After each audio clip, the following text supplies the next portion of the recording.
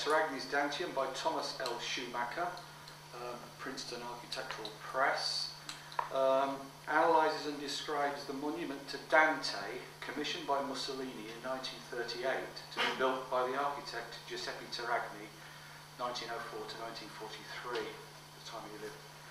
The monument would be considered as utopian, not only because it was never built, but because it was represented through the poems of Dante as informing the communist space of the fascist state. And this is a reading from page 39.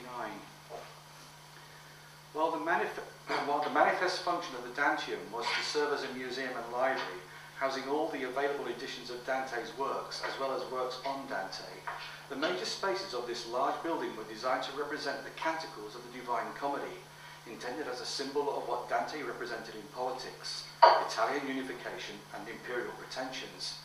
The appropriateness of choosing a site in the Villa dell'Imperio, street of the Empire, across the street from the Basilica of Maxentius and the Constantine, was well recognised by Terragni as confirmation of Dante's dowry of prophecy.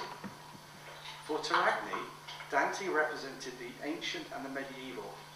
Mussolini, however, was a rabid Romanist, and the Middle Ages was not a healthy period for the Roman Empire.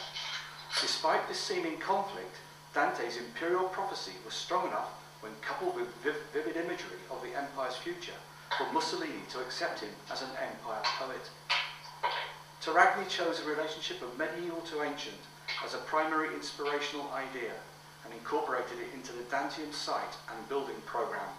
Because the Danteum was neither simply a government building nor a monument to Italian war dead, typical 1930s programme throughout Europe, it possessed a dimension for the Italians that superseded political symbolism and patriotism.